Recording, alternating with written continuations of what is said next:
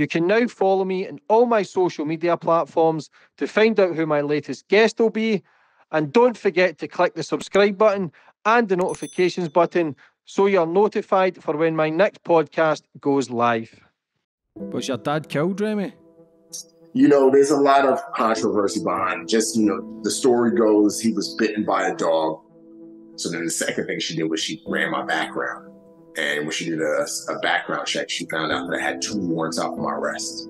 I had a warrant in New York and a warrant in New Jersey. I didn't know I had warrants. And at that point, I was petrified because I thought, oh my God, like my life is finally caught up with me. For me, it was like I like I had failed so much. I failed as a son. I failed as a brother. I failed in my record company. I failed in so many different aspects of life that I was tired of failing. And I decided that I'm not going to fail anymore. I'm, I'm, I'm not. I'm not. It's either I die. I have to die before I fail. There's more people enslaved around the world today than any other time in human history. Today, there are more slaves. And you know, slavery has been around since the beginning of time. And there's more slaves today than any other time in human history. And again, that's, that's organ harvesting, that's sex trafficking, that's that's that's labor, that's people being used for testing, that's people being used to move drugs in. It's a it's a it's a massive thing.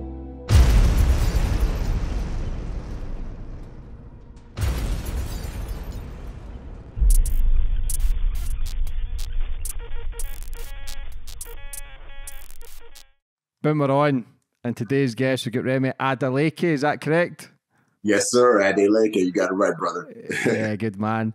First of all, I just want to say thanks for coming on the show, brother. Navy SEAL turned actor, writer, like man of many talents. You've now got a degree, and now you're doing a celebrity MESAS. Like phenomenal story, brother. I've read read up a lot and watched a couple of your podcasts. Like it's good to have you on the show. Uh, it's good to be on the show. Thank you so much for having me. It's an honor, blessing. Thanks, uh, thanks for the invite. Before we get into everything, brother, I always go back to the start of my guests, where you grew up and how it all began. Yeah, so I was actually born in uh, Nigeria. I lived the uh, first five years of my life in Nigeria. I was born in, in, into wealth. My dad was a well known Nigerian engineer, and uh, he engineered one of the first man made islands in the world. It's now known as Banana Island, but it was known as the Lagoon Development Project and fast forward because there's a lot more to the story but the uh, nigerian government pretty much stripped my dad of his most valuable asset which was the island and all of his wealth was wrapped up in it. And uh, and we went from rich to poor and he died within that period of us going from rich to poor. He died within weeks. And uh, so my mother was American. She met my dad in, in New York City when he was on a business trip, and then they got married five months later. And then uh, my mom moved to Nigeria, specifically Lagos. And uh, so after my dad died, my mother permanently relocated us to New York City, specifically the Bronx. And so that was my that was kind of how I I jumped the pond, so to speak. I, it's interesting because I have a lot of half siblings. I have about four half siblings um, who uh, they about 16 years older than me. And uh, they went all went to boarding school in the UK. And after they finished boarding school, they went to university in the UK, and they all stayed. So I have a number of siblings who actually still live in London and uh, and, uh, and and do business in London and Nigeria. Um, and that would have probably been my path if my father didn't pass away because he was getting ready to send us to boarding school, uh, me and my brother in the UK before he passed away. Um, so I, how how old were you when he passed? I was five years old. I was five. And he was starting businesses in Nigeria. Yeah, yeah, yeah, yeah, yeah. So he had a uh, he had car dealerships, an engineering firm that was probably his most lucrative business, and an art gallery. So he had a he was an entrepreneur, and his his goal was to essentially he was educated, and my dad was actually educated in the UK as well. He went to the uh, University of London and got his uh, his, his bachelor's and master's in um, in architecture and engineering, and he actually was on the British Financial Planning Council back in like the 60s, 70s, I believe, and then he was uh, on the board of the World Trade Center. But after he had amassed all of his wealth and success in the West, then he went back to Nigeria and established his businesses there, and uh, and then you know years down the line, that's kind of when I came along. So so yeah, a lot of his his businesses were international. I mean, he was always traveling. We were always traveling with him as well when we were young. Paris, London, Germany, the U.S. So um, his businesses weren't just in Nigeria. They had, a lot of them were started outside of Nigeria, in the UK, and in America.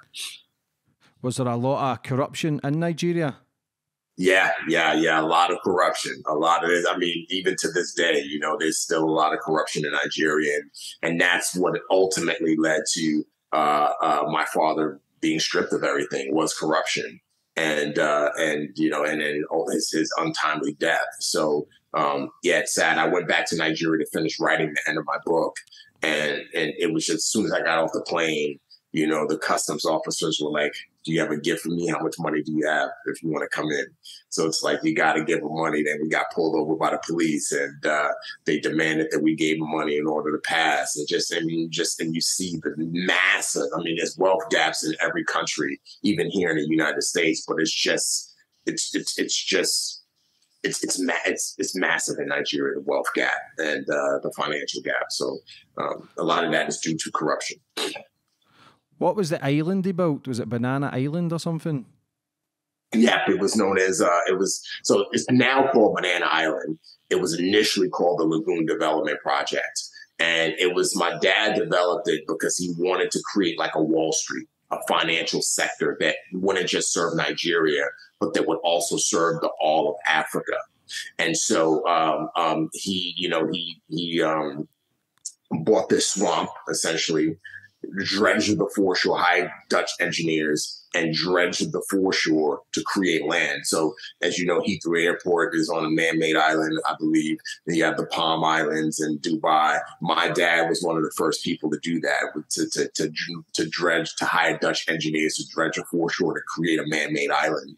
And uh, um, um and so, you know, after the island had formed, he had then, you know, had all of these schematics in place because he was going to build uh, buildings, and he had signed deals with McDonald's, Marks and Spence, uh, Disney, all of these different companies to do to, to essentially allow Nigeria to be like a central financial hub for a lot of businesses to operate in Africa.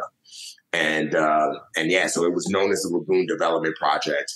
But then after it was stripped from him, it was renamed to Banana Island, and now it's Banana Island. And uh, some of the most, some of the wealthiest Africans in the world live on Banana Island. Dangote, um, I think. Uh, um, there's a lot of rap, famous rappers that have property.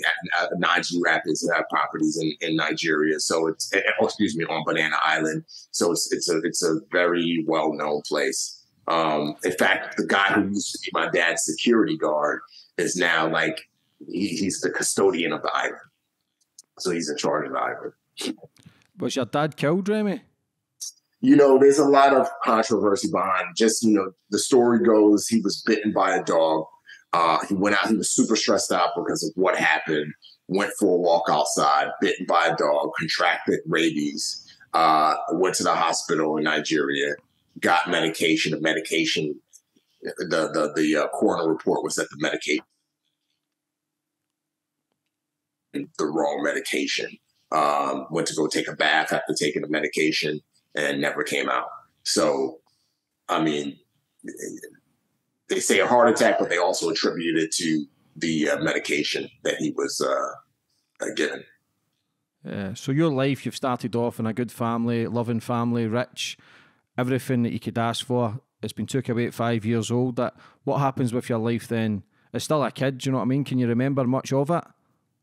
Uh, just a little bit, you know. My uh, my my, uh, you know, we had a lot of pictures and stuff that always, you know, my mom showed me when we came to the states. That always, you know, kind of refreshed my memory as to the life we lived, the parties that we went to, the school I went to, you know, and and those sorts of things. So, um, you know, I do have a, a somewhat of those memories. But as far as when I came to the states, um, yeah, all those memories are fresh. Like for I mean, because that's to me where my life really, really begun began. You know, and uh, uh, it was it was a very rough environment. You know, Bronx is I don't know what's the equivalent uh, in in the in the UK. Your your you know hoods, so to speak. but uh, I have a good friend in, in London. His name's Jason Devil. Um, and uh, we talk often, and he always tells me about the projects, the, the slums, I guess you call it, or projects that he grew up in, how rough they were. He equated them to uh, uh, to the Bronx or Compton or South Side of Chicago. But you know, the area I grew up in was a very, very rough area. It was crime rate, a lot of drugs, um, uh, crackheads, um, gangs. Um, the, the mafia was very prevalent when I was coming up. So uh, we had a lot of guys who uh, uh, I would see the mafia guys go into the uh, local stores to collect taxes uh, from the from the store owners. So it was uh, yeah, it was a very very rough rough area. You know, um, and but you know the cool thing is my mom did a great job of masking the reality of what had happened. She did a good job of uh, essentially, you know, trying to inside of our little apartment uh, paint this picture of, of, of success and and everything was all right. Even though on the outside, when we walked out of our doors, it was crazy. Yeah, how hard was it to adapt from the rich kid from Nigeria to then going to the Bronx? You know, I, you know, I tell people all the time that my mom did a great job masking the reality of what had happened. You know, she um, she kept our apartment pristine. She brought a lot of my dad's art, so our apartment was filled, filled with art that I had grown up around. Um, she, you know, worked multiple jobs to try and like give my brother and I this the best life she could in this small apartment in the Bronx. And so at a very young age as a boy, you know, five, thinking five, six, seven, you know, you don't really, your world is so small. I mean, the majority of the world is the house or apartment that you live in. And that in and of itself is big to you. So it didn't really affect me. That transition didn't affect me because I still had three meals a day. I had toys. I saw my dad's art. I mean, as a matter of fact, I remember when my mother told my brother and I that I had, our dad had died. And she put my bro- my brother on, on one side and me on the other side, and she said, "Look, your dad's gone and he's not coming back." And we were so young and didn't fully understand the concept of death. And I think a part of it too was my dad traveled so much that to us, it was like, oh, dad's just going on another trip because we didn't understand the concept of death. And so after she told us the news, we just said, looked at each other and went back to playing. And my mom didn't cry at all when she delivered the news. So I think to us, that signaled to us that everything was all right. Oh, mom's not crying. She's not falling apart. That must not mean a bad thing. So let's go back to, to doing what we do, uh, what we were doing. And so I said all that to say that, you know, my mom did a fantastic job of masking the reality of what had happened in order to shield us and protect us from breaking down or, you know, just, just having a meltdown or having some type of psychological, negative psychological effect because of the death of our dad. And uh, it wasn't until I was about eight years old that I finally realized what was going on because I would see things, you know, I would go outside more and, and, and then, you know, my mom would let me go to the corner store by myself and I would see these drug dealers and see these crackheads and and uh, you know, I would see go with my mom to the rental office and watch as she, you know, would beg for extra time to pay the rent, and you know, watch as my mom would give my brother and I food, and and uh, and then stand in the kitchen doorway and and watch us eat because there wasn't enough food for herself. So as I began to pick up on these things as I got older, that's when it kicked in, and I was like, oh my god, you know, the life that I used to have is not the life I have anymore. And I remember, I'll never forget this. I remember being in my bedroom and staring at a picture of my father. And I was eight. And I just remember breaking down in tears. And I just remember, you know, my mom came in the room and she said, What's wrong? And I said, Ma, we don't have the life that we have anymore because dad's gone. He's dead and he's not coming back. And I wish that he was here so that we can have a better life. And I think that that's when it finally hit me and uh, yeah, yeah, I was I was eight years old at the time. Does that become a big moment in your life to then not try and toughen up, but try and survive basically? Because your mum clearly had it well, had the pain well, the heartache. But for you to see that at a young age, especially eight, you're still not you're you're nowhere near fully grown. So, how much does that play a massive effect on your your life now? I think that you know at the time, the effect that it had. Just look back in, in retrospect, it, it unconsciously propelled me to seek out a father. Like I didn't realize it, but I was seeking out a father. I was seeking out a man to essentially fill that void and teach me how to become a man. And it was at that age, and then as I grew older, even more so when talk about 9, 10, 11, 12, that I really began to look to the streets as a father and, and hip hop and hip hop culture and to teach me how to be a man and teach me how to talk to women and teach me how to make money. And, and, you know, I was heavily, heavily influenced by the streets and hip hop culture. And, you know, that led to me down a pretty dark path from you know, I started out stealing from my mom, and then that progressed to stealing from local stores, and then that progressed to uh, stealing from jobs, and then that progressed to selling drugs, and that progressed to running high level scams. And that all came from not having a man to show me, hey, this is how you're supposed to live. I, I see and hear what you're hearing from this music and, and, and what you're seeing from the streets, but that's not a good path for you I didn't have that. All I had was what I saw in the streets. And because that was all I had, that's what I sought to mimic and uh, yeah, led me down a really, really dark path. But it was a gradual thing, you know. Just like I said, it started out small. Just all right, don't have a dad. Who do I look to for a dad? Oh, look to the streets, listen to music. Oh, these guys are talking about stealing. These guys are talking about hey, you got all the money, then girls are gonna respect you and girls are gonna like you. And if you punch somebody in the face who disrespects you, then you know you're gonna earn everybody's respect. So go punch people in the face, go fight. Like all of those things had molded me into the into the teenager that I eventually became and it all came from the absence of a father.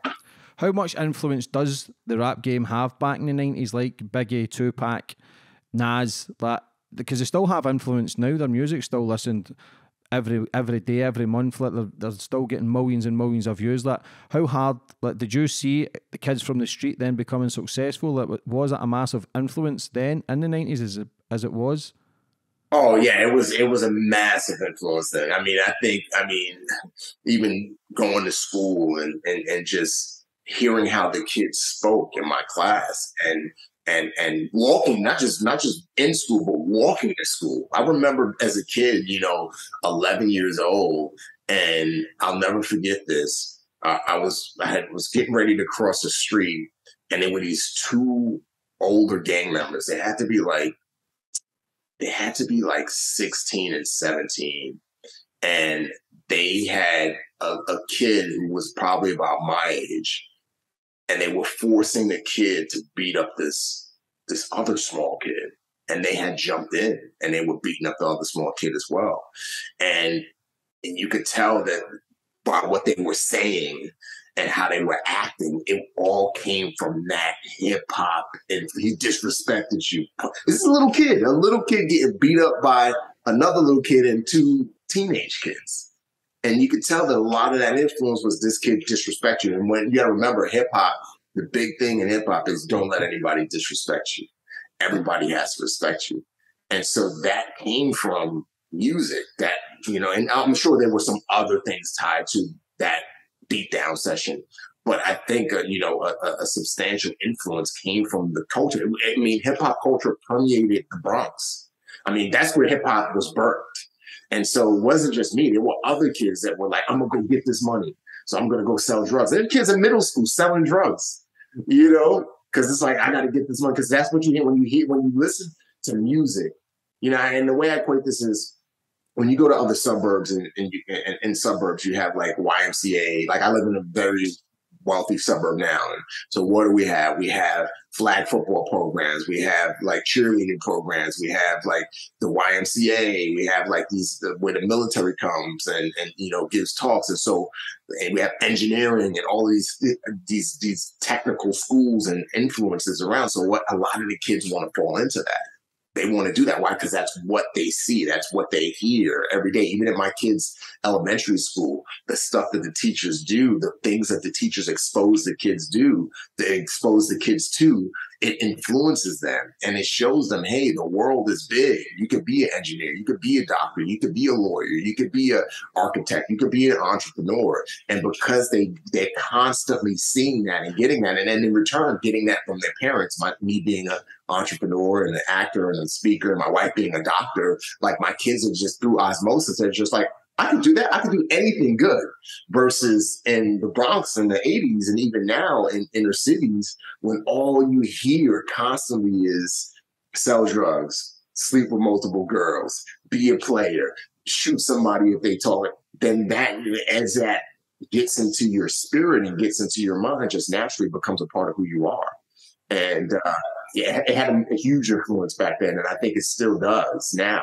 Um, I've worked in inner cities and uh, you know I've as, you know I've volunteered my time and I go into school sometimes and it's just like you know nothing is new under the sun. You see these kids with their pants sagging and and and and uh, and and uh, these rags, these colorful bandanas hanging out, which you know signify what gang they're in. And you know, I went to this one school where this is the this is the last shot for the kids. Essentially, if they fail out of the school, they're going to they're going to jail because these are kids who have gotten in multiple trouble in school and or they have some type of like criminal offense and they so they can't be in a traditional school so they get put into this like I don't know like almost like a jail school is what they call it. And this is their last chance. And if they fail or if they hit somebody or they shoot or stab somebody, they're going to they're going to jail. And, you know, I remember speaking at this one school here in San Diego and just looking at the kids being like, dude, I used to be you. Like, like put away with that culture, put away with that mindset. Like you can be great. Like you can be somebody. You don't have to be a gangster or a thug or a hustler. There's so much more to you. Um, but you know, the environment they're in is just so penetrating and so consistent that it's hard to, for them to break out of it. Yeah, it's tough because it's survival mode, and anything you watch or read, it will condition your mind to what you want to believe and think. So it's difficult if they're seeing people from the streets then becoming successful with the nice cars, the jewellery, the women. They think that's the life to lead, but realistically, it's a fucking fake life. It's bullshit. And your your dad was clearly an intelligent man, but when you were at school, did did you suffer because you were took out of that environment? Like, did you not believe in yourself as much? No, I always believed that's I always believed in myself. I always believed that I was going to win. I had I had too much confidence. You know, I had too much confidence, and uh, uh, you know, especially when when I saw what I was doing was working when I saw when I was selling drugs, I was making money. I mean, by the time I was 19, I had built this massive, I was bringing in thousands of dollars a week. I bought a freaking brand new, you know, fifty-two thousand dollar car. I was like, I mean, I was I was laundering my money through a record company that I had started. I had artist management. I still have. I keep the CD on my desk. that's me. That's me right there at nineteen. me right there at nineteen. Right.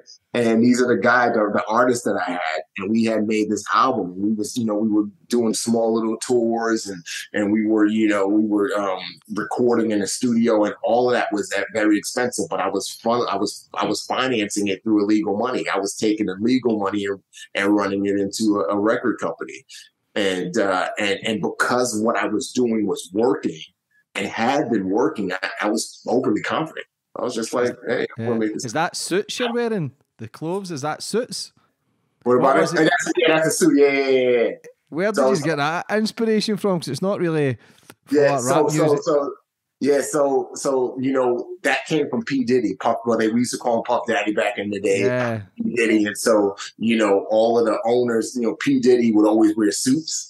And there was a joke back in the day. He would wear shiny suits. He was a shiny suit man, and uh, and so like I I was the CEO of this production company. So I, so thought that when we did this photo shoot, I was like, all right, as CEO, all executives, including myself, we're going to do away with the baggy clothes and we're going to put on suits. You know, kind of show that we're, we're, we're real, you know, we're real street hustlers and, and uh, get people to take us a little bit more seriously.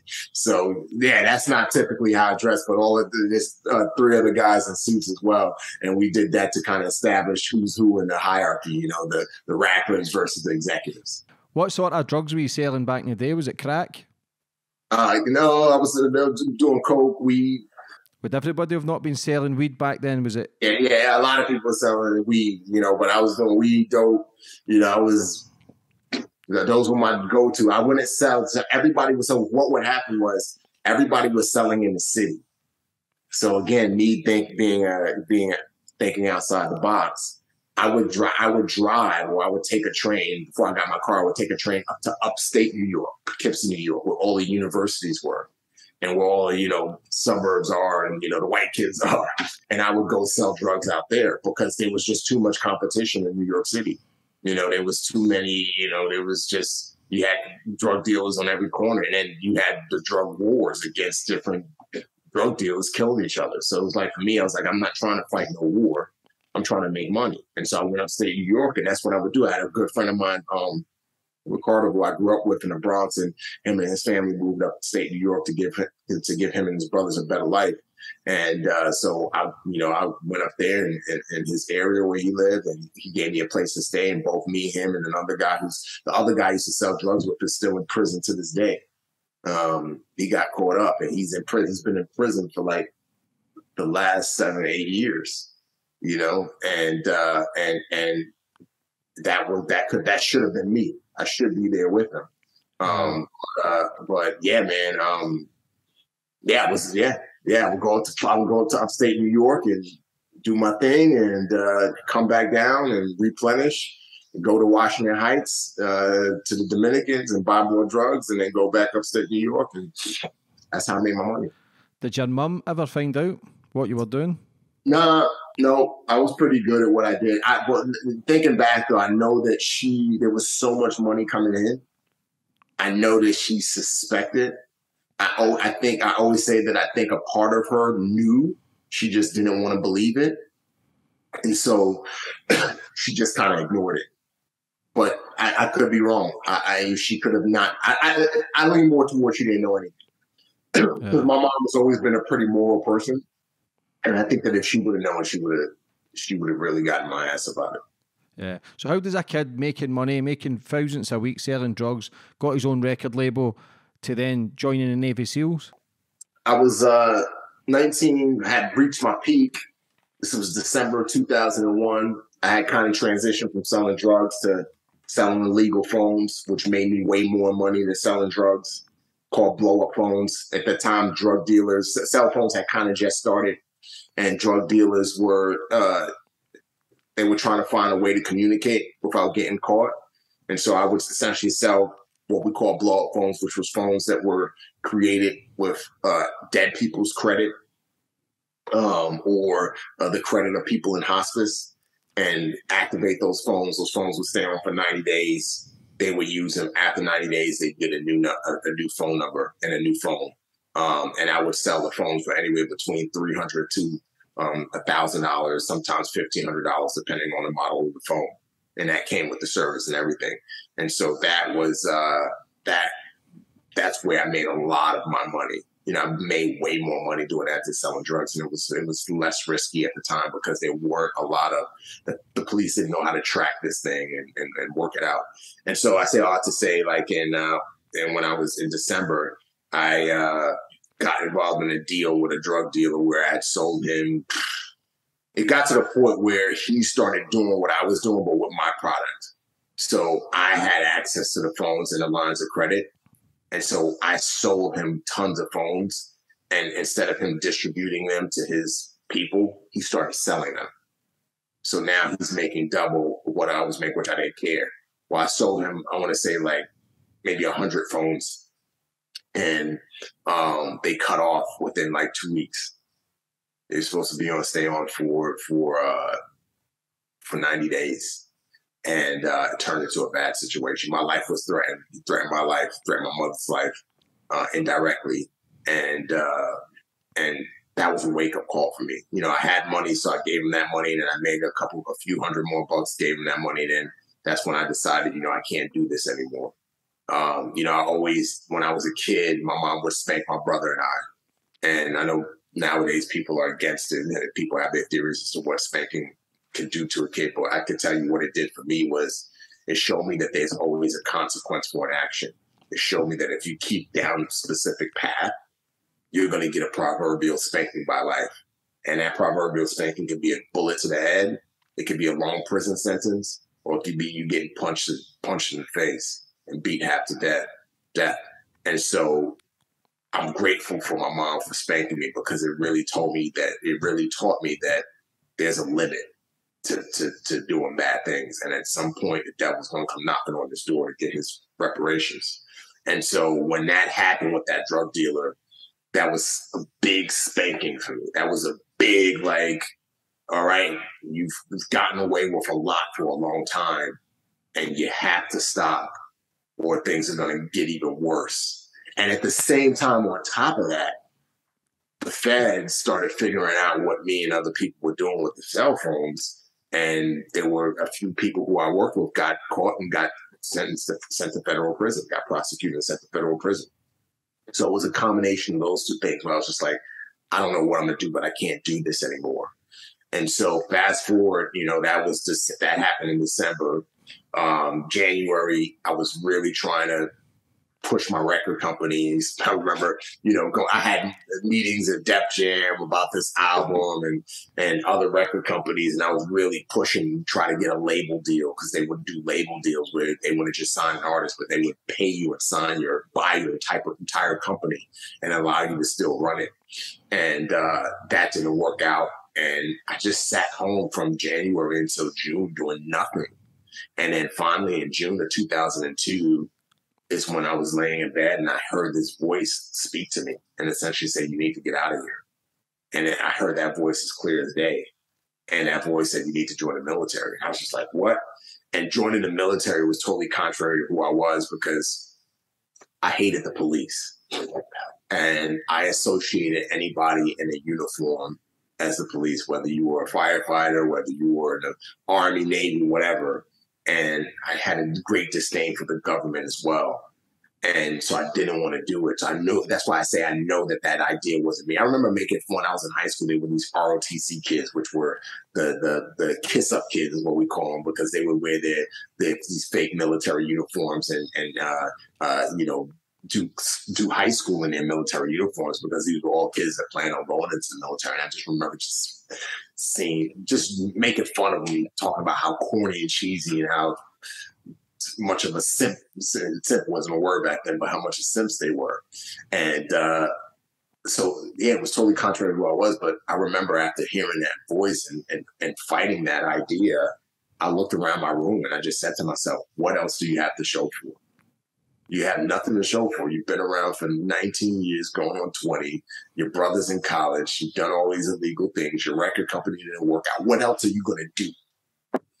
And so, you know, I, I, I said, yeah, screw it. You know, what else? So, What else do I have? And so, long story short, I went to the Navy. I went to at first I went to the Marine Corps recruiter's office. Recruiter wasn't there, and then I went into the Navy recruiter's office, and there was a recruiter there by the name of Tiana Reyes. And uh, first thing she did was she had me take a practice ASVAB test because I told her I wanted to be a SEAL. And she said, well, let's see if you can qualify to be a SEAL. And I took the practice ASVAB test and I passed it to get in the Navy, but I didn't qualify to be a SEAL. So then the second thing she did was she ran my background. And when she did a, a background check, she found out that I had two warrants out for my arrest. I had a warrant in New York and a warrant in New Jersey. I didn't know I had warrants. And at that point, I was petrified because I thought, oh my God, like my life is finally caught up with me. Like all like I the guy the people who got caught up and were sent to federal prison, I thought I, I thought that's what the warrants were for because I didn't know what the warrants were for. And uh, I got up and I got ready to run out of the office. And uh, she said, What are you doing? I was like, I'm getting out of here. I'm not trying to go to jail today. She said, Well, if you go out there, you know, not, there's nothing good out there for you. I was like, well, what do you want me to do? she said, do you have a suit? I said, no, why? She said, do you have a, a, a, some nice pants and a collar shirt? And I said, I said, yeah, I could find something because that, that suit in that picture I had actually borrowed from somebody. And, uh, and so she said, come back tomorrow. And I said, for what? She said, shut up and just come back tomorrow. She was from the Bronx. She had joined the Navy. And, and then after she did her time in the Navy, she came back as a recruiter. And I came back the next day and she was in her dress uniform. And she took me to both judges. She took me to the judge in New York and the judge in New Jersey. And uh, both those judges advocated. She advocated on my behalf in front of both of those judges and asked them to expunge my record. Both judges, you know, because the, the charges weren't like crazy nefarious, wasn't like murder or rape or anything like that. Um, the judges both you know, expunged my record. And it was in part because 9 11 had taken place nine months later. And so they were of the mindset that if this guy's trying to turn his life around after an act of war, then we'll clear his record so he could join the Navy. And then she went a step further and she fudged the paperwork to sneak me into the Navy. And that's kind of, it all happened really fast. I mean, like I went to the, that, I had that thought, went to the recruiter, and two weeks later, I was in, uh, I was in Chicago in, in, uh, in Navy boot camp but head shaved and uniform, and uh, yeah, man. How was? Who do you think the voice was?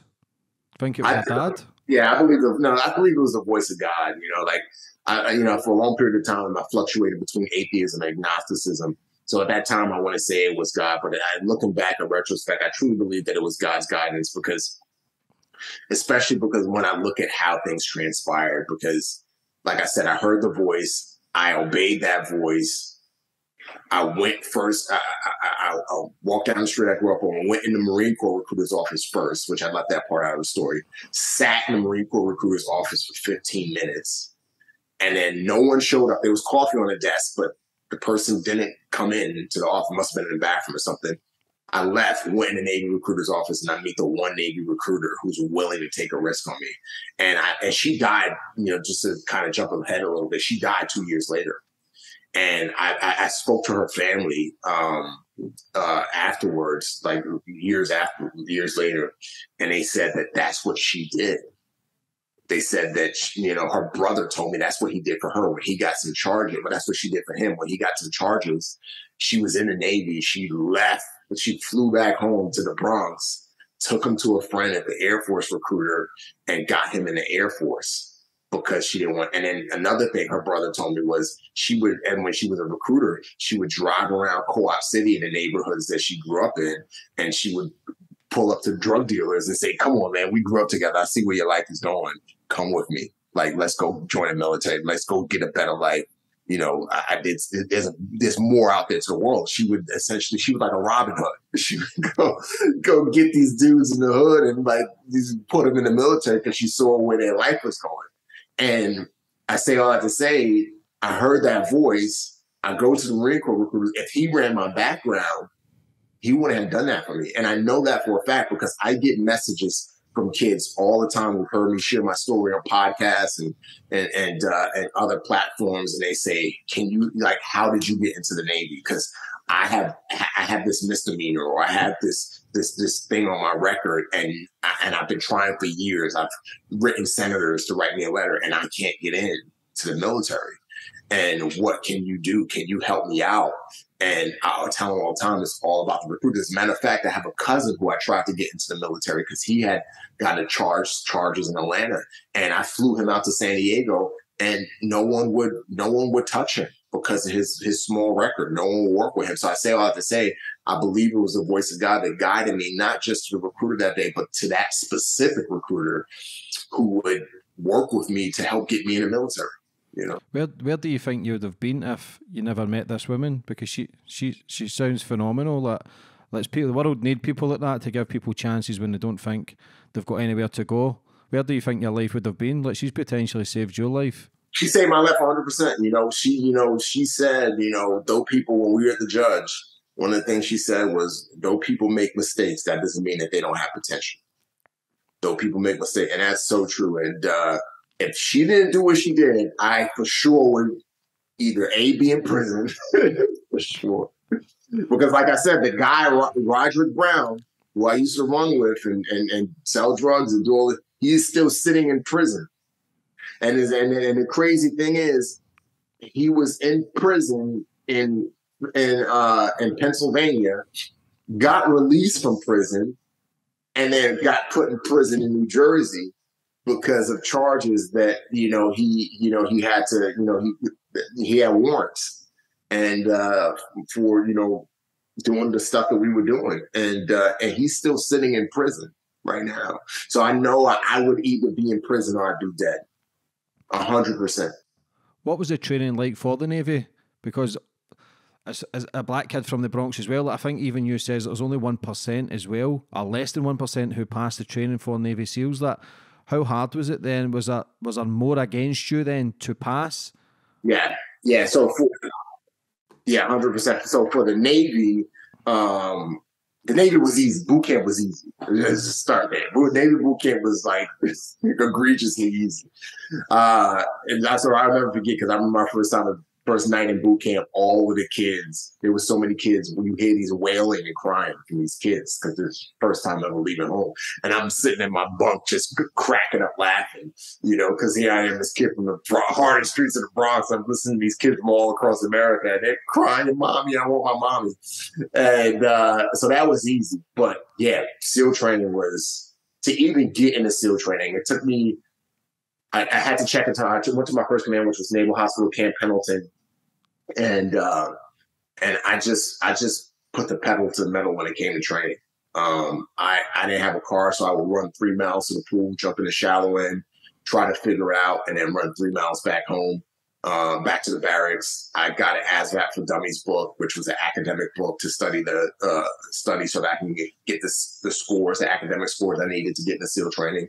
And then I just started making up workouts. And, uh, you know, after six months, uh, I had qualified to go to SEAL training. I checked into my first command in January 2003, which was Naval Hospital Camp Pendleton. And I checked out in January 2004, going to SEAL training.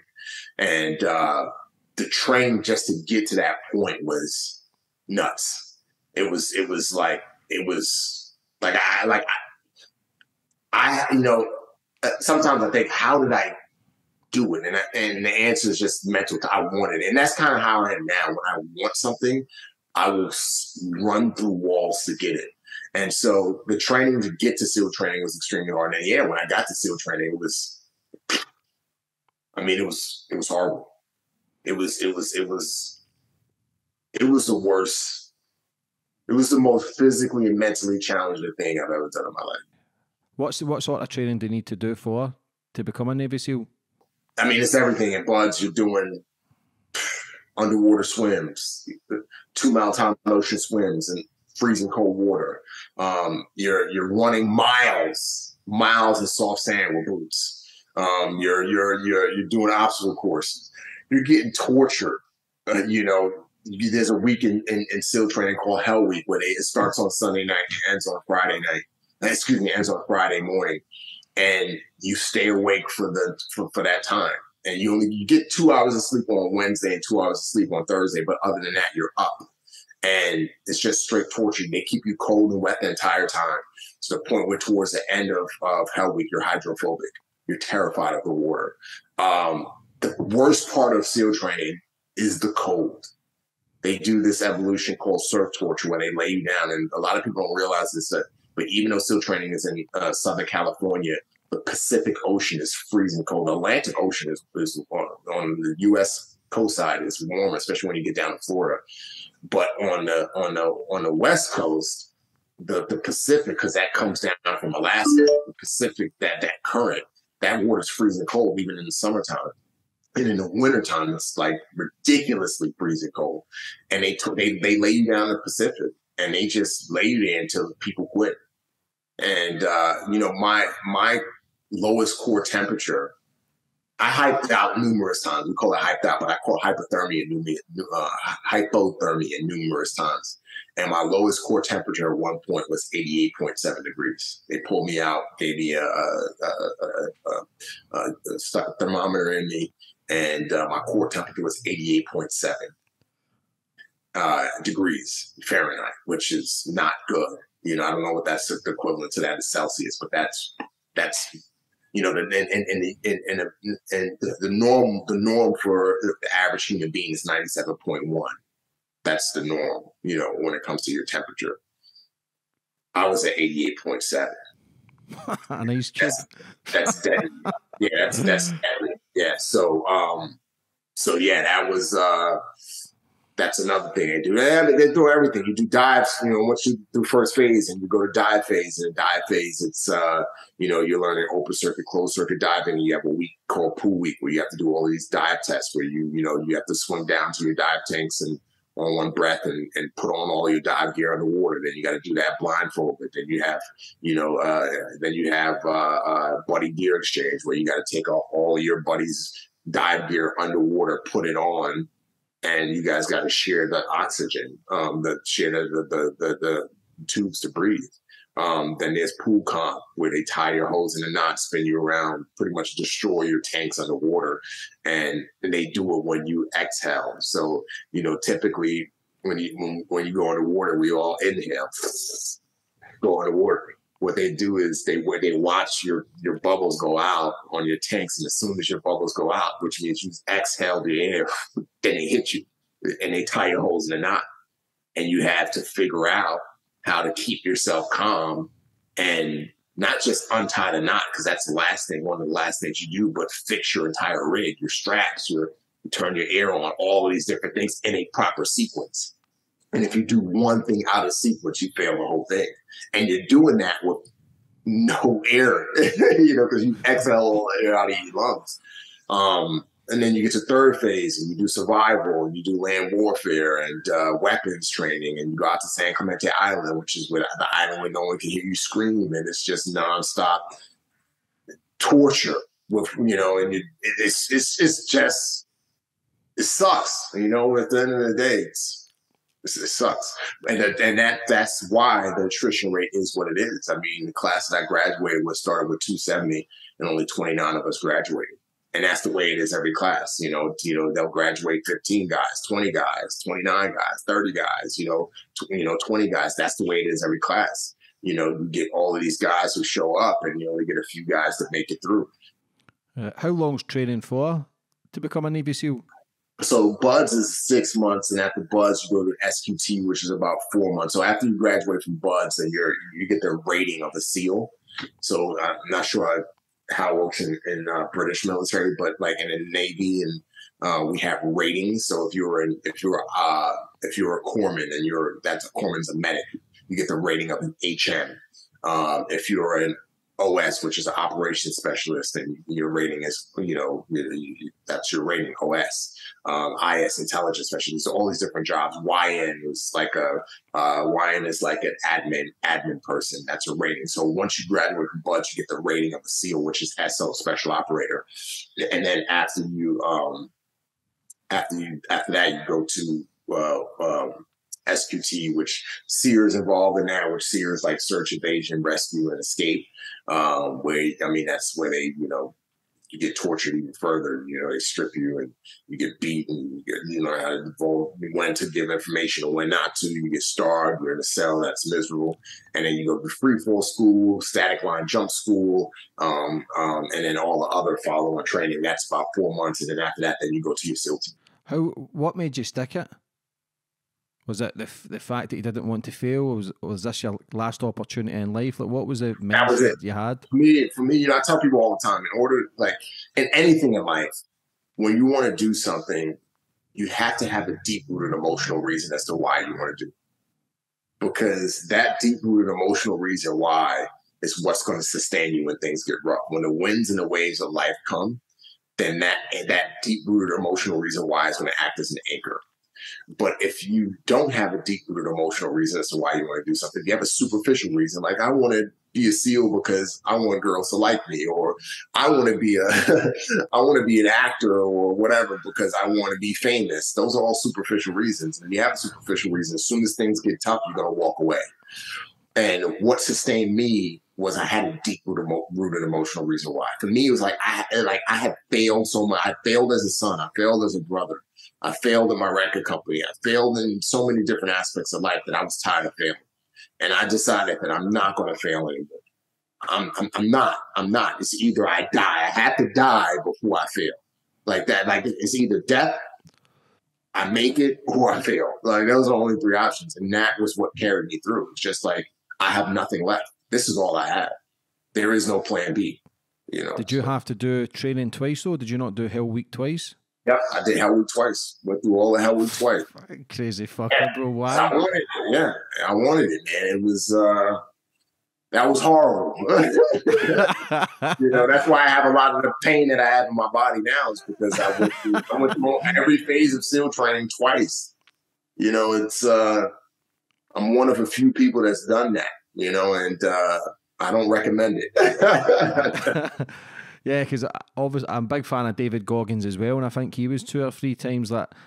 That's that's mental toughness. That like people don't even make it through the first week. You've went back months and months to go back again for the second time. Was it a? Were you trying to prove yourself that you weren't a failure, or other people that what I know we're talking about the mindset, but what was that then to keep pushing you to then go back and go through more torture and pain? Did you feel alive then in that torture and pain? Yeah, I definitely felt a lot, and I felt every part of it. you know, um, I've just, uh, and I credit it to my mother. You know, my mother, you know, as I shared earlier, she had a hard life. She went from being a very rich, wealthy woman to being poor. And you know, when you're when you reach the top, you can you, you can get complacent. You can you get comfortable. You know, living this life where you have nannies and drivers and and cooks and all of these different things, and uh, and it's all taken from you. And she could have easily went down a different path, but instead, like I watched this woman work hard, like sacrifice, suffer to provide for my brother and I, you know? And I think having a person being able to see that every single day, see somebody who lives, breathes, and eats grit and determination, that just becomes a part of your nature. Just like we talked about earlier, how hip hop and, and you know influenced influenced the kids, and this it just became a part of what they did and how they lived my mother and the way she was and the way she lived and persevered, that just became second nature to me because I saw an example of it every single day. And so fast forward to SEAL training, it was just like, all right, life is hard, but the way you beat a hard life is with hard work. That's how you beat it. That is, you, that's the only way to beat it. And so, um, yeah, going back wasn't, a, it wasn't like, oh, this is gonna suck. It's like, okay, it's time to go do it. It's gonna suck, but time to go pay the man. you know, time to go pay the man. That's it. more to it. So when you're doing it for the second time, obviously it would have broke majority of people, but did it make you then know what you were going to do to then enhance you for everything that you were going up against? Yeah, hundred percent, hundred percent. It definitely gave me an advantage because I knew everything that was coming. All the games that they were going to play, I already knew. So when we're in Hell Week and it's Thursday and they're like, or Wednesday, and they're like, "You guys suck. We're gonna make. We're gonna keep this.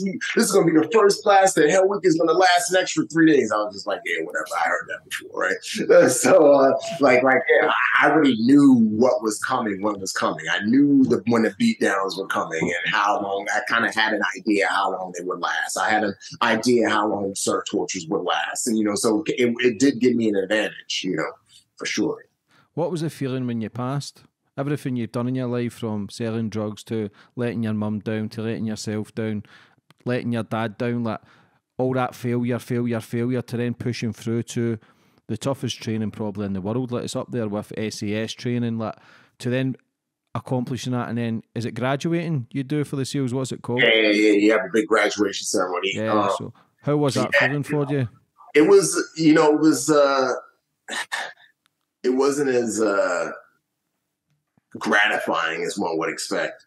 Why? For me, it was just like now it's time to go to work. Cause like I didn't go to SEAL training to graduate, if that makes uh, if that makes sense. I went to SEAL training to be a SEAL. I think that that's where it could why a lot of people quit because you get people that they don't have that deep rooted emotional reason why, but they also don't they're not they don't they're looking at the wrong outcome. The wrong, the right outcome is okay. You make it through, and now you're going to be a SEAL. A lot, it's not just about surviving to the end. And so, um, you know, similar to SAS, Who Dares Wins. You know, for us, it's not about freaking surviving to the end. It's about coming to the course, facing your demons, and beginning the steps towards conquering your demons so that you can go back into society a changed person and operate with the lessons that you've learned through the course. That's what our show, that's what the, the, the, the SAS Dares Wins is about. Right. And so that, that was in similar, similar fashion to me. It wasn't about graduating and getting to the end. It was about facing my demons, fighting, becoming a new person and becoming a SEAL so I can go do do a job. So when I finally graduated, it was like, oh, I was like, all right, let's go to work. Let's go. Let's go do the job. You know. So. So what happens once you graduate? What? Where do you go? Do you travel around the world? Do you stay in America? Like, yeah. So yeah. So when you so I graduated. In my case, you know, I got I got orders to a SEAL team. Um, went to a SEAL team um, on the West Coast. Um, you know, um, uh, worked on two different SEAL teams actually, and and you you start you do what's called a workup cycle um, where you do you train with your team. So the first part of the workup is where you you go to your specialization schools or whatever you're going to specialize in. So you're a medic, and then if you, you you know you go to advanced medical courses. If you're a sniper, then or you want to be a sniper, then you go to sniper school, you go to advanced sniper school, uh, and, then, then after that you come back meet meet up with your platoon, and then you do uh, uh, uh, training as a platoon, and then you uh, do another block of training, and then you deploy. And that was my that was my pattern. You know, eighteen month about an eighteen month workup, six to seven month deployment. 18 month workup, six to seven month deployment. 18 month workup, six to seven month deployment. And, uh, you know, that was, you know, what I did. Most of my deployments were all to the Middle East. Um, got to do some cool stuff, really, really cool stuff. And, uh, you know, got to do an augment with, uh, with a tier one unit. Um, and yeah, man, it was, it was, it was everything I, I dreamed of, man. It was to be able to really feel like you're making a difference in the world because you're you know you're operating the tip of the spear was it was and then coming from where I came from. You gotta understand, man. I was I was a drug dealer in the Bronx, man. you know what I mean? be a drug dealer in the Bronx, and then now and then be you know gearing up to get ready to go on an operation, go after HVT. I mean that that doesn't happen. And uh, you know, another cool thing is I got to live the best of the both best best of both worlds because I was a HUMINT guy.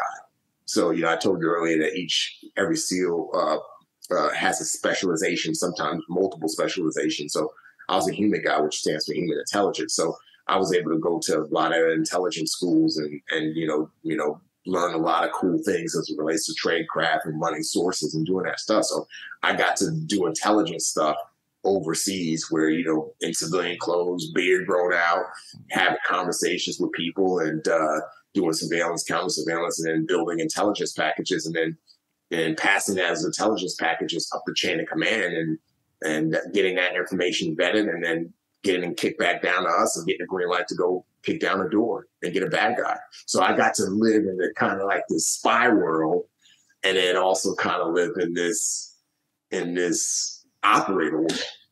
and I'm a dude from the hood. You know what I'm saying? So uh, I'll never forget it. I, I never forget this. I'll never forget. I was, it was, I was, it was May of 2010. I was in a very hostile country. I won't name the country. And I remember being on this, it was, I said, it was, sorry, it was May 5th. May 5th of 2010, because it was Cinco de Mayo. We have a holiday here called Cinco de Mayo 5 5. And uh, I'm at the CIA compound, poolside, with these CIA agents, and drinking Corona beers, and just looking at this beautiful pool. It used to be, you know, a bad, very well-known bad guys palace that was converted into a, uh, a, a CIA facility. And I just remember sitting at the pool drinking these Coronas. I'm just like, damn, how did I get here? Like, like, like, like, it's like pinching myself, like, this can't be real. you know what I'm saying? And, uh, but man, I've, I've had a blessed life. I had a blessed career, man. And, uh, I enjoyed it. See the training you've done twice. How how how did that mentally keep you stable in hostile environments, especially if you were a spy, trying to get intelligence, like to be so cool, calm, and collective? Like, did your second stint of like Hell Week make you become who you were? No, I think that. Well, I think I think the ability to be able to be stable in hot situations and all that came from my upbringing. You know, there's there's there's uh, there's a saying: our SEALs, and I think this can go for SAS and SBS and uh, other special forces groups are special forces operators born or made which means are you born with everything that's needed to be a, to be an operator? Or are you you know through life are you nurtured into this operator? I think it's different for everybody. I think some people are born with specific skills just like you get kids who are born with the gift of singing and they're going to be the best singer or people who are born with the gift of swimming. They just their body is just designed to be they got them born with long arms and long legs and a proper torso and everything to be you know michael phelps right? Uh, i think it's a combination for uh, i think some people they're born with it some people they they they learn it over time they learn the skills sets acquired over time some people it's a combination whether it's 70 30, whether it's 80 20, whether it's, you know, uh, uh, 60 40. I think it's a combination. for me, I think I was born with it, but then also I think the way I grew up, you know, really gave me that mental toughness. My mom, like I said, my mom was a very strong willed person and she was a hard person on me and my brother. You know, how I got into writing, you know, started with my mother. She would make my brother and I read New York Times articles and write reports. And if our reports weren't near perfect, she would make us pick another article and write again. You know, my mother was all about do it right the first time. We would have to wash and dry the dishes every night. My brother and I, one, one night it'd be my turn to wash and my brother's turn to dry. And then the next night, you know, it'd be my turn to dry and my brother's turn to wash. And if those dishes weren't washed perfectly and dried perfectly, then she would take all of them out, put them in the sink, and make us do it again. You know, my mom was a very, very, and still is, I mean, a very hardcore woman. You can see on Instagram, people think she's my sister because she she's this big fitness woman and she's 70 years old and she's running and doing all this crazy stuff that, you know, 30 year olds can't do. And she's always been like that though. And I say that to say, between my mother, the environment I grew up on, grew up in, especially you know walking the streets of the Bronx, being able, having to be able to read people, having to be able to tell when somebody's going to lie, or somebody who's ready to fight you, or whether it's a shootout is about to happen, being able to you know read, you have to learn how to read people to survive in that environment. So between that and the mental toughness that I acquired from through DNA from my parents, and then had my mom kind of nurtured through life I feel like I, when I came to SEAL training, I was going to make it through SEAL training.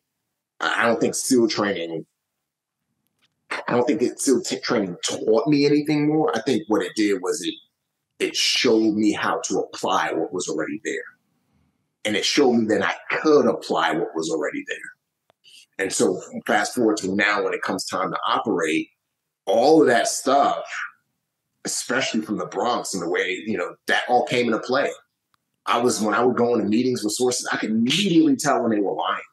It wasn't because of SEAL training. It was because I grew up in the Bronx. You know, when I, I, I could immediately tell when somebody was had information that they wanted to give me, and it wasn't that they were lying; they were just terrified, and having to learn how to kind of massage that in a graceful way, massage that information out of them. So, so again, it was it was um um, I, I, don't credit a lot of it to SEAL training. Now, obviously I had to go to specific schools. Like I said, I had to go to HUMINT school. So there was certain things that I that I learned, and there was certain things that I, you know, terms and things that you know maybe I had kind of learned in the streets that I was able to put tags on that I learned in actual school programs. There were other things that, that I was able to learn that was able to you know further mold my skill set as a HUMINT operator, and definitely as an operator, you know, shoot, moving, and communicating. But as far as the mental, we're talking just the mental toughness and fortitude and ability to be able to have emotional intelligence and read people read situations, that had always been there. How hard was it to get gather intelligence in a war zone? It wasn't hard for me, man. I, it wasn't hard for me. And again, I think, you know, it's, it's hard. It's hard. Don't get me wrong. It's hard because it's not like eh, you have one conversation and everything works out. It's a process. It's a process. And I can't go into all the details because, you know, obviously sensitivity around the way we do what we do. Um, but the process wasn't hard for me. The outcome is always hard, but the process wasn't hard for me because I'm a very patient person, and and and because of I've gone through processes, going through SEAL training twice, all these different things, and you know, I'm you know, it helped me uh, go through the process with grace. Was your life ever in danger? Of course it was. was, was there any scary yeah. moments for you that you thought that you maybe oh, yeah, killed? Of course it was. Of course it was, man. Been shot at, you know what I mean? Like, you know, I mean, it's, it's, it's war. When you go to war, I mean, it's war, you know? So, yeah, I mean, I've been in a lot of hairy situations and, uh, and thank God I've survived a lot of all of them, you know? Um, yeah.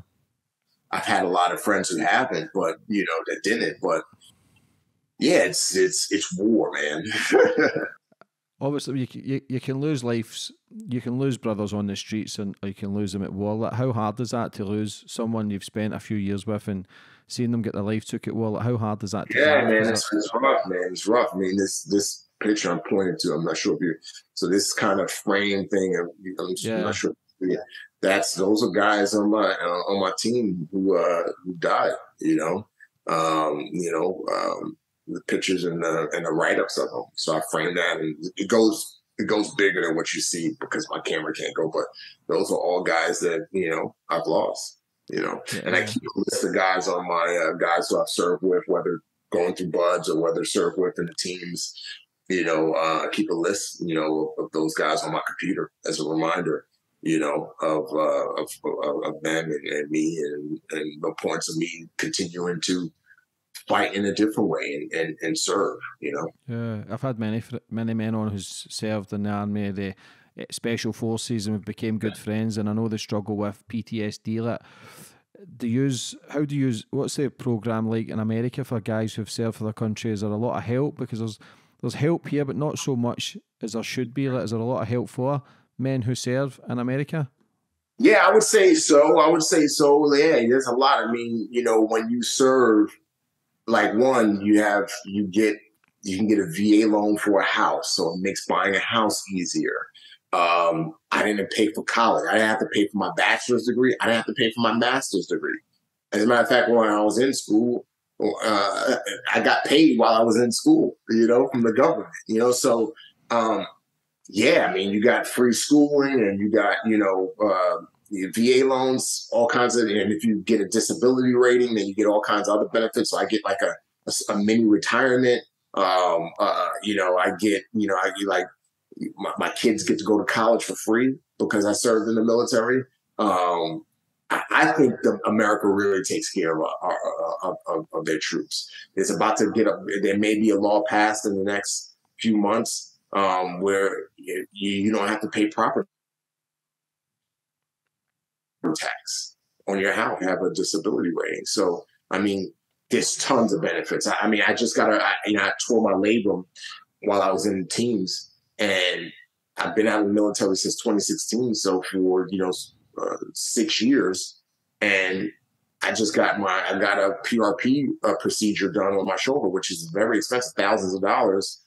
Uh, a SEAL Foundation paid for, Navy SEAL Foundation paid for. Excuse me, SEAL Future Foundation paid for. How long were you in the military for? 13 years, 13 and a half to be exact. so that's a long time. So why the decision to leave? Have you got to hit a certain amount of years before you can leave or what's yeah? So, you know, uh, for me, my while my contract expired was going to expire, you know, typically a lot of guys, especially after they get over the 10 year mark, they, they tend to stay in because it's like, well, why not do the full 20 years and, and uh, get a retirement. But uh, you know, my first son was born in 2014. My second son was born in 2015. I, I wanted to be home. I wanted to watch them grow up.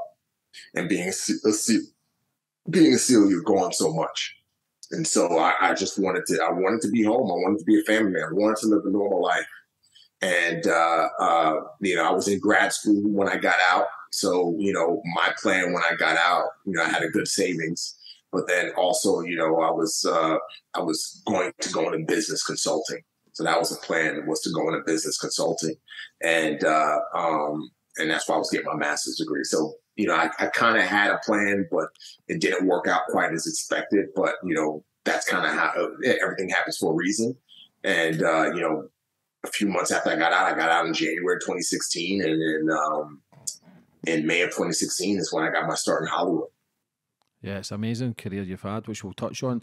The decision to leave the military was that because obviously your dad wasn't there when you were a, when a kid. When you've got your own sons, you realised how important it is for the father to be around.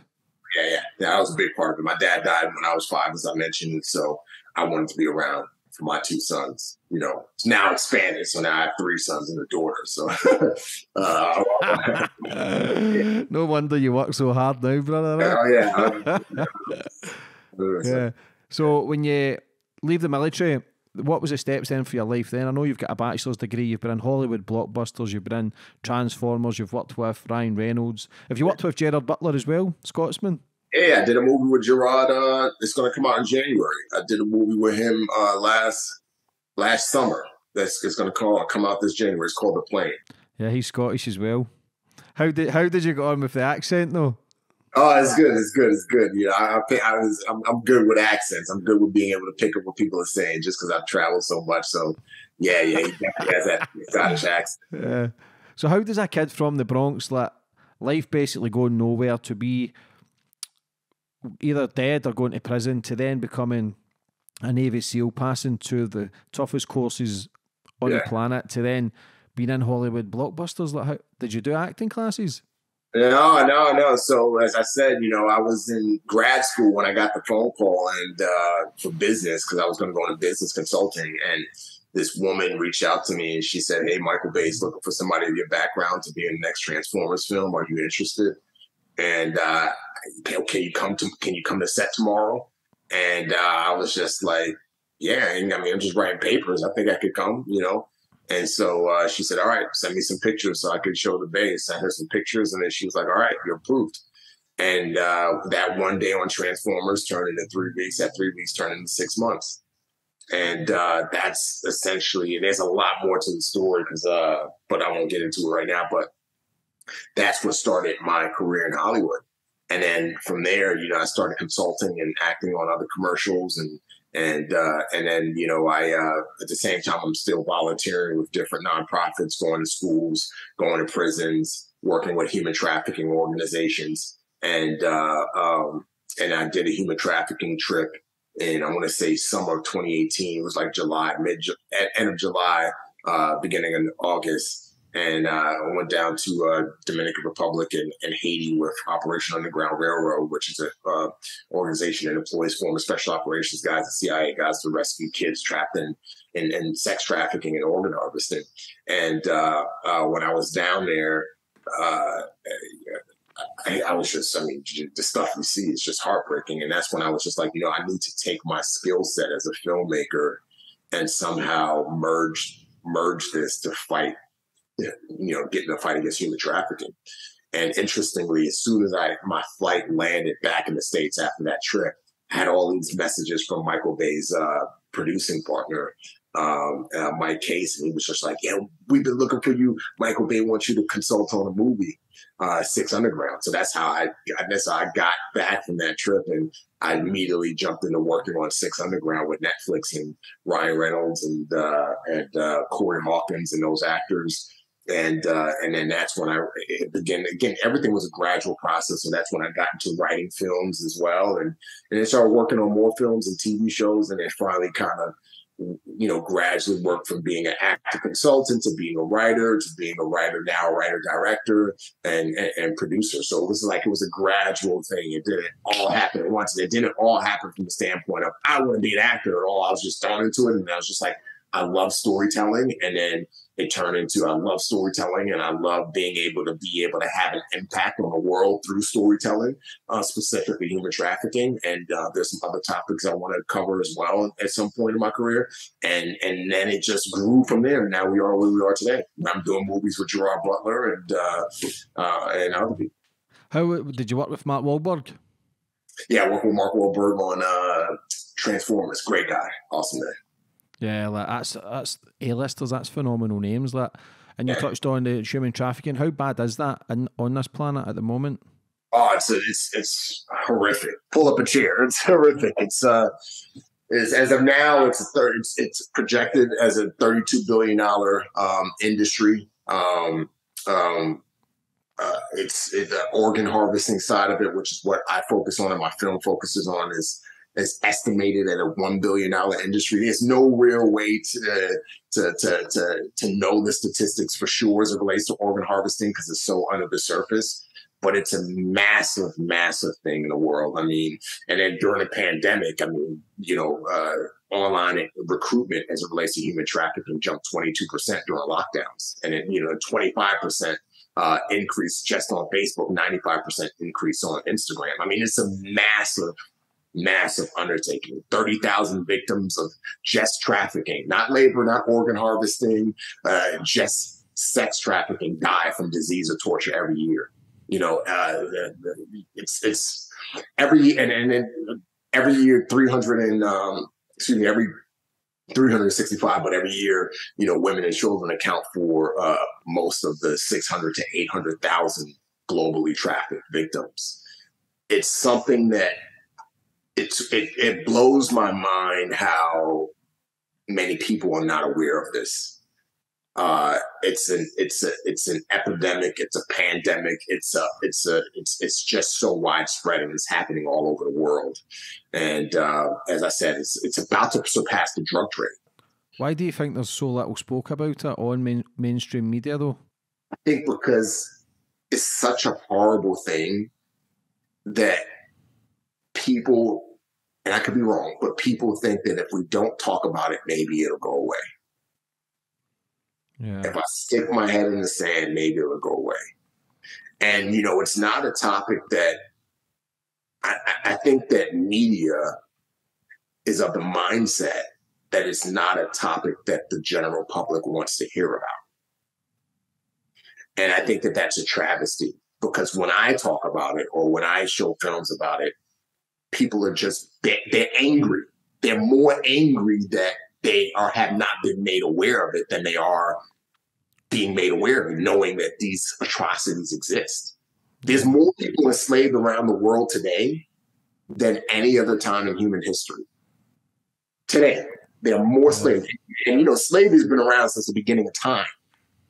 And there's more slaves today than any other time in human history. And again, that's, that's organ harvesting, that's sex trafficking, that's that's that's labor, that's people being used for testing, that's people being used to move drugs in. It's a it's a it's a massive thing. Yeah, the world's a fucked up place. There's so much beautiful things goes on in it as well, but a lot of people are not brainwashed towards it, but a lot of people are staying in a bubble where they work their nine to five job.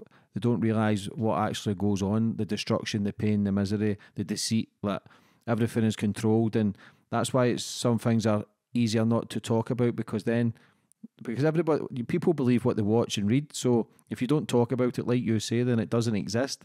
Me and you even speaking about this, people will think those numbers can't be true. But it's fucking true. Like I've had um, Ollie Ollerton on as well. He was in uh, Celebrity SAS. He was Special Forces, and they were in I think China, and it was thousands of kids going missing weekly or monthly. Like the numbers were unbelievable. Like the pain and destruction. Like it's like you say, it's such a big trade now. Like it's just fucking sad to think because I'm a father as well. I've got kids, so it's like you do everything to protect them. And when you hear people talk about it, you don't realise the extent of actually what goes on and how how hard that is to try and protect people now, especially with social media as well. And so so many people can be brainwashed and conditioned into believing what they want. Like, how do do you think this problem's only going to get worse? Oh, it's only yeah. Especially now as we're going to a global recession, it's going to get way worse. You know, and uh, uh, you know we and again, it's it's one of those things where it's it's this machine, it's this monster that that's been around for a long period of time, but with technology, it's it's allowed it to be more vast. You know, it's allowed these organ harvesting and these human trafficking networks to work more fluidly, right? Because they can communicate. You know, for example, there's a story out of India um, with this uh, Nigerian um, uh, like computer engineer who created this website, and he was able to essentially uh, create a, a kidney uh, black market where poor Indians in India uh, would go on his website and they would essentially sell their sell one of their kidneys, you know, and for just to get a few hundred bucks, you know, that would be gone in less than a year. Right. And that all happened because of technology. As I mentioned earlier, during the pandemic, there was a, a 25 in, uh, uh, uh percent increase on, on, on, on the web as it related to recruitment. You know, why is it growing? It was a 95% increase in recruitment on Instagram. So technology has allowed this thing to grow even more and even faster. Here in the United States, you know, the biggest problem of human trafficking is on the border. You know, and, and what has happened in the past, I interviewed a guy um, two, about three days ago who was trafficked from Venezuela to Colombia to uh, uh, to Mexico, and it, finally escaped. he was enslaved, finally escaped, and crossed into the United States butt naked. That's how he had to escape. And what he said was the uh, gangs and the cartel, what they're doing is they're sending, they're creating these fake travel agencies. And they're sending messages to coyotes all across South America. They're sending these digital ads as well, all across South America and other parts of the world to let people know hey, America has an open border policy according to their politics, right? According to their politics, you know, uh, the current president said they're not turning anybody away. So these cartel and gang members have took taken that soundbite and taken that information and created pamphlets and digital pamphlets to draw people to the border. So that's how this guy got caught up. He received a digital pamphlet saying, "Hey, this travel agency wants to help move you into the United States. They're best based in Mexico." So he traveled from Venezuela to Colombia, got to Mexico. This travel agency, I say that in air quotes, gave him a job on the border. After a few days, they a car pulls up at gunpoint, orders him into the car. Uh, he gets into the car. They beat him up, stab him, and then they take him out. They drive him to a location, take him out of the car, open the trunk. There's three girls in the trunk who was also part of this travel agency who were who were lured to Mexico through this travel agency. That car gets taken to a house in a very rich part of Mexico, massive house he gets into he gets put into the house with a hundred people from all across not just South America, but people from other parts of the world. They were all lured to this place. The girls were used for sex trafficking. The kids were used as mules to move drugs into the United States because apparently the kids don't get vetted as as harshly as the adults. And the men were used for labor, or their families had to pay a ransom. And after the families paid the ransom, you know, these guys were executed because they were no use to the to this gang anymore. And so, you know, it's it's it's a problem everywhere, and it's very very real. And uh, as you said, I think you know people don't think it's real. But it, it, it, but here's the interesting thing too, you know, in, in working in in the human trafficking space and doing all this research for my film and other projects that I work have worked on, it's not hard to find information. There's articles and vetted news reports everywhere. I told you about that story in India. There's another story in India that's very well known news where this woman, she was in a um, very impoverished part of India, and she received a uh, a message online um, stating that she could uh, uh, get a job in New Delhi, and uh, because there was no job opportunities where she was, and so she got excited, uh, you know, packed up her bags, got to New Delhi, um, the the the the job, I say that in air quotes, essentially her her new boss, you know, uh, collected her at the at the bus stop and gave her a, a small apartment uh, for a few days. And one uh, about three days in, he came to the apartment and said, "Hey, you got to go get your medical checkup uh, in order to start working. It's a new policy." She goes to this clinic in this kind of shady part of town and strips to get ready to do her uh, her medical examination, she overhears through the door somebody come in and says, "Yeah, she's going to be donating her organs. She's going to be giving this organ and this organ." Because of how it, her attentiveness saved her life, she got dressed, boogied out, reported that, reported this organ harvesting ring to the police, and it got exposed. And and everybody, doctors, nurses, were arrested. And this was a multi million dollar organ harvesting ring that had been going on for a number of years. I mean, there's a story that came out of Pakistan recently where police freed, you know, 20 people from an apartment. You know, and these people again were lured because, hey, come get this job. And they were right before that apartment got raided, the, the, very next day, a few days later, these people were supposed to get their organs, their kidneys, they were their kidneys taken out and sold on the black market. You know, Cairo. Cairo is like the capital of the world as it relates to organ harvesting. You know, so this is something that goes on all around the world. There's another story as well that came. I'm sorry, I'm rambling on because all of these things are just coming to me, but I'm just trying to show the reality of it so that people can freaking wake up and stop digging their head in the sand and saying that's not real, that's not happening, that doesn't happen, that's just a horror movie. There's a there's a very well known story out of uh, Costa Rica where um, um, this this Israelis a group of Israelis um, um, um Israelis brokered these deals, but uh, there were uh, there's Israeli broker who went to Costa Rica and and started this human organ harvesting thing with with this doctor in Costa Rica, where Israelis could fly in. They would pitch um, poor Costa Ricans to sell their kidneys. The poor Costa Rican Costa Ricans would sell a kidney for this Israeli, and uh, uh, and, and for Israelis that were flying, they would get the surgery done in Costa Rica and get a new kidney, pay for it all on the black market.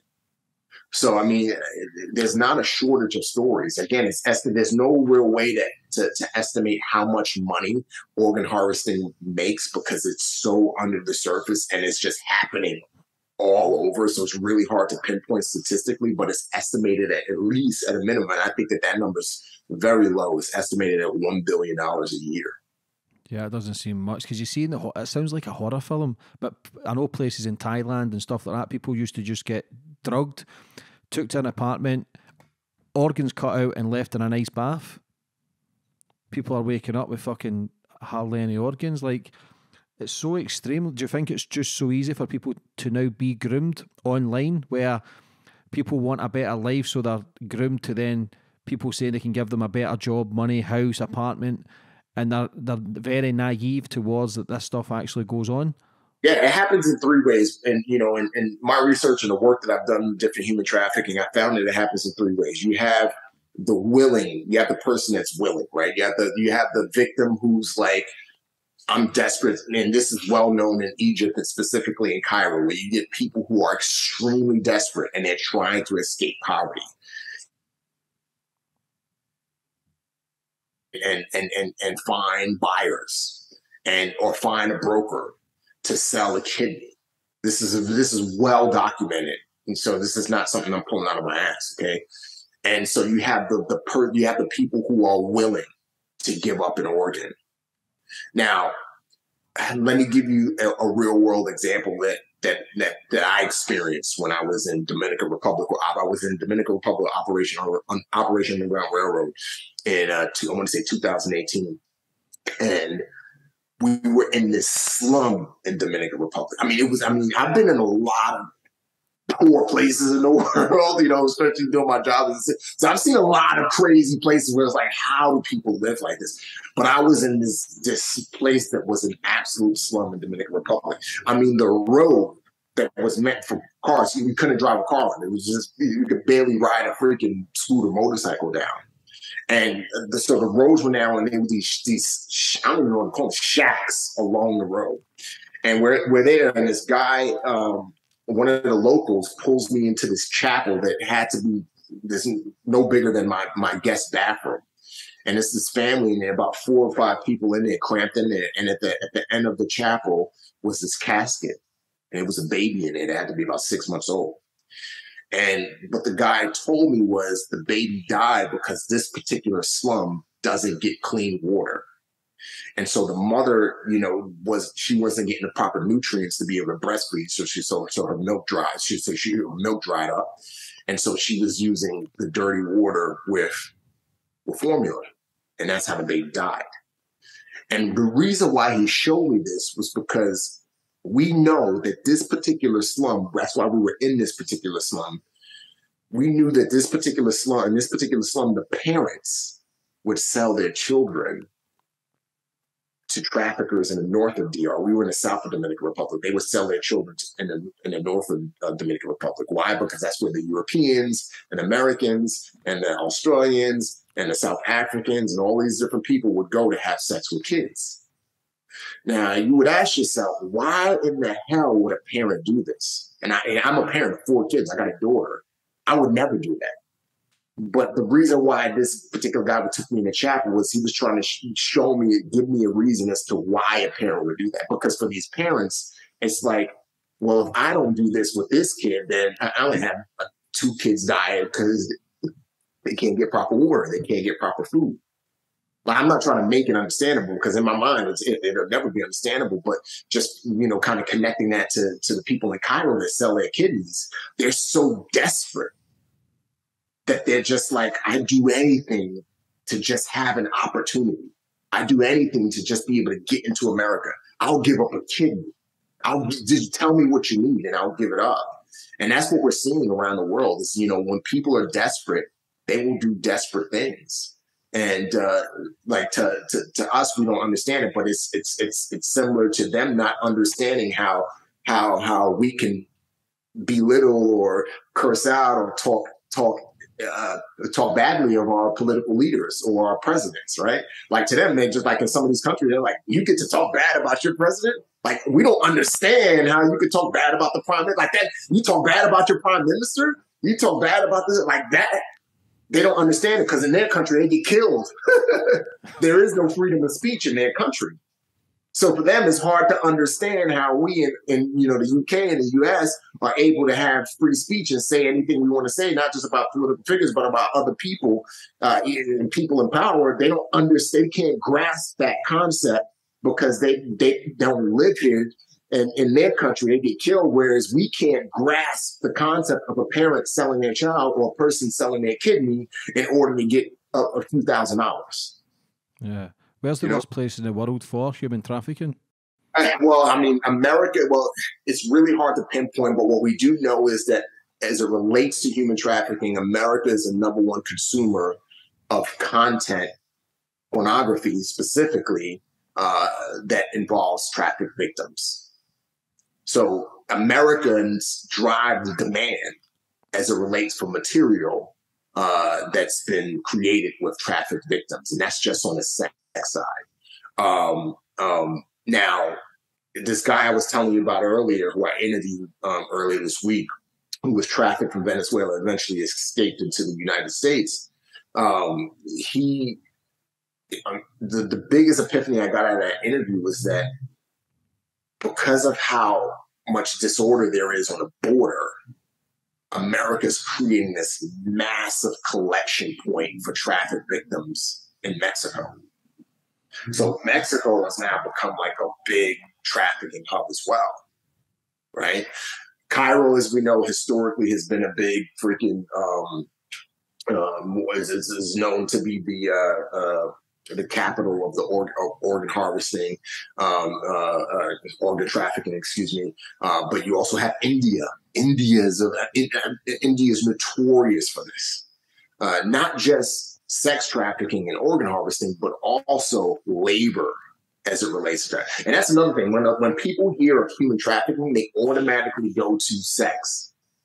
You know, people, but it's it's it's, it's more than just sex trafficking. It's organ harvesting. It's labor. It's it's it's it's it's the uh, the mail order brides from other countries that have been stolen from their home and now they're being sold on the dark web or the black web to wealthy people, wealthy men, or you know, in, in other countries, and now they're married to these guys and they were sold. So there's different facets of human trafficking, and uh, and in some countries, one facet may be more prevalent than another facet. For example, like I said, in, in, in Cairo in Egypt, the organ harvesting side that's going to be more prevalent than than probably in Thailand, where sex trafficking is a, a massive undertaking just like it is in Cambodia and in, in, in, in other parts of the world. So I don't think you could really pinpoint one country that is, is, is where that's where it's all happening. The majority of it is happening. It's happening yeah. everywhere. It's heartbreaking. Even India, like they, they take the kids not just for sex, but they cut their eyes out or cut their legs off so they can get more money when they're begging for money. Like this yeah. shit goes on, and people think they only see it in films. Like it's, it's more extreme than what people think. Yeah, and when you think about it too, you know, as far as pricing wise, you know, a clean heart and lung or lung starts like the fee, the price starts at one hundred thirty thousand dollars. So just starts there.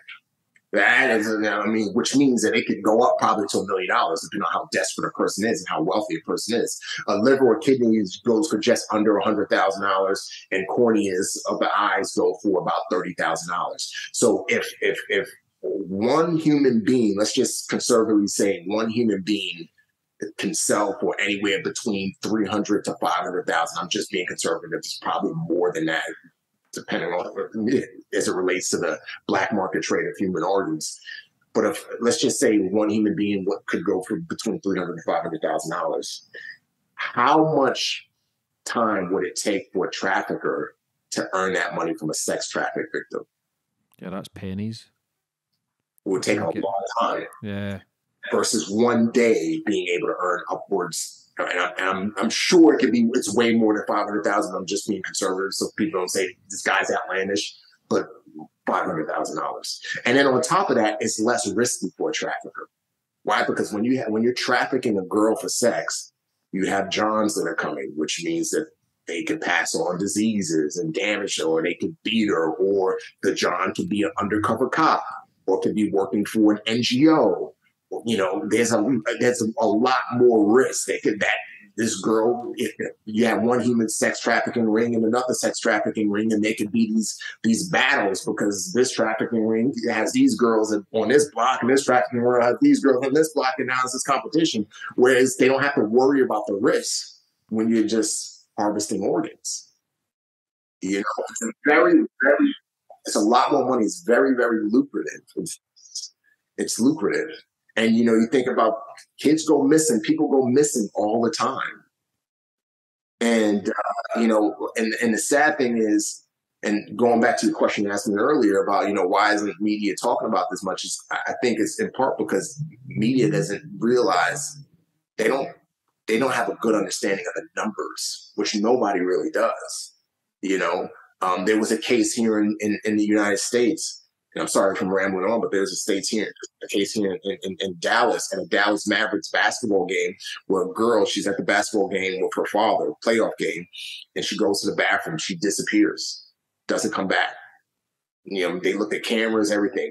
What the cop said, it was like she's a runaway. They wrote it off as she was a runaway. Okay. The parents were desperate. They they you know scoured the internet. They found a human trafficking because they, they just knew their daughter. They knew their daughter wasn't going to run away. They found a, a, human trafficking nonprofit that was run by veterans, those uh, military guys, those veterans, you know, scoured, scoured the dark web. And about, you know, I think I can't remember if it was eight days or three weeks later, they found her. She was being trafficked on the dark web, drugged and trafficked. They set up a sting, rescued her, and arrested all of the people that were part of um, this sex trafficking ring. And guess what? They were at the game. They were looking for a soft target, right? But the police and authorities just wrote it off. Oh, she's just a runaway. How many people have just run away because they're teen? When in reality, they probably didn't. They were taken, you know? And so, um, yes, it's it's a massive thing. Yeah, that should be global news. That like when you talk about drugs, somebody moving 10 kilos, 20 kilos, like that money's nothing compared to people, 10 people being trafficked. That's 5 million pounds, basically. If you can get 500, 500 grand a body, some people maybe traffic 100 bodies, kids in Africa, kids in Thailand, like India. Like it's easy to get people because, like you say, there's parents selling their kids for hundred dollars, thousand dollars, to then those kids getting sold on for hundreds of thousands of pounds. Like people are desperate. People sell their soul all the time, but you don't, you don't know the the extreme like America, UK. Like, it is a better living here. It's a high quality of living, but when you're in the slums, people will do anything for their kids to survive or for them to survive, and that's what we're trying to touch on. So how? So sorry, sorry, sorry. There was three. There was three ways I said. There was one was the willing, uh, willing participant. Then you have the people who are tricked you know, and this is a big thing that happens in Dubai. Uh, and, uh, and, I've done research on this a lot with the labor, with the labor. So you, in Dubai, you have a lot of girls and men, and also sex, labor and sex, who they're lured to Dubai for a better life as soon as they land in Dubai. A lot of them from East Africa and, and other parts of the Middle East and India. As soon as they land in Dubai, their passports get taken by the traffickers, so they can't leave. They put in these shanty shacks, and girls are used for sex and uh, guys are used for labor. You know, a lot of uh, Dubai was built on the back of slaves. Okay. Now, with that said, um, that is the so you got the willing participant, you have the person that's tricked, but then you also have this other piece to it where you have people that is just straight up taken. Kind of like the example with the guy who I shared, who I interviewed earlier this week, where he was taken and freaking, you know, trafficked, you know, taken, you know, against his will. And there's a lot of other stories. And then another thing which my film covers is the link to to to trafficking as it relates to organ harvesting and terrorism. Uh, you know, a lot of terrorist groups, especially ISIS, you know, you know, when their when their um, financial lines were cut because of, of uh, interventions, I'll just kind of leave it at that. You know, they had to look at other ways to get money. And one of the ways they got money, especially in 2000, end of 2016, 2017, was through tra- trafficking uh, Yazidis girls, you know, and trafficking girls in northern Iraq and, and, and selling them for sex and selling them for organs and, and other, you know, and labor and other things. So uh, there is a link where, you know, what we do, um, it can also, it, it, it's, an, it, it's a national security issue as well. You know, it's a national security issue. But again, those are the three different methods I yeah. wanted to. Your fil- is this the film The Unexpected? Yeah, so my film, my film is called The Unexpected. That film is going to release September 30th, and that's based on true events uh, around a, uh, a person. I don't want to give away too much, but a person who's trapped in an international organ harvesting ring. And I really went to painstaking uh, uh details to ensure that it was as authentic as possible. Um, uh, whether interviewing people, whether firsthand knowledge from things that I saw, and uh, and, and actual stories of actual people. So it's it's a very uh, authentic and, and, and realistic thing. that's based on true events, and that one that's going to release on YouTube on October, excuse me, on September 30th. So that's going to release on YouTube on September 30th. Yeah. So can you send me all the descriptions and all the links for people to then go and watch that? Oh, absolutely, absolutely. Yeah, perfect, brother. We'll touch on that. We'll get you back on again. We can touch on that more. Just before we finish up, we'll talk about your book Transformed as well. Where can people get that, brother? Uh, they can get that wherever books are sold, Amazon, uh, Barnes and Noble. I'm not sure the name of the bookstores out there, but pretty much Amazon. Most of the people in the UK got my book. They got it on Amazon. Uh, Amazon. Let's touch on just before we go. Uh, Celebrity SAS, you're doing the UK show now, working with Fo- Foxy and Mark Bing- Billingham, like two good men. Like, how's that? Sh- how's that show going for you? Yeah, that was awesome, man. That was awesome, man. That was a great experience. Billy and Foxy are awesome dudes. Rudy's a great dude too. Uh, Billy, I love those guys, man. They become like brothers to me. And uh, yeah, man, I, I, just had a great time working on the show. It just got announced. Um, yeah, I want to say two days ago, maybe yesterday, I can't remember, but uh, that they're doing a U.S. version, which we already shot. So Foxy and Billy are in that as well, along with me, and that's going to air here in the U.S. on Fox. So that's going to be a big one. Yeah, unbelievable. I know a few of the contestants on it. I know Shannon Courtenay, Callum Best in the UK one. Um, they're good people. Um, last question, brother. Just for anybody that's maybe struggling or battling with mental health, what advice would you have for them? I would say attack the seed. I always say, I say, I you know, you know, we all have. I mean, I struggle with mental health uh, stuff. As all of us do. I think. Um, I think every single person does struggle with some, whether it's self doubt, whether it's regret, whether it's uh, whether it's negative self talk, I can't do this, I won't do this, I'll suck. We all struggle with some level of it. And one, uh, a few pieces of advice that I try to give to, to people who have a struggle is, you know, especially when it comes to depression, is attack the seed.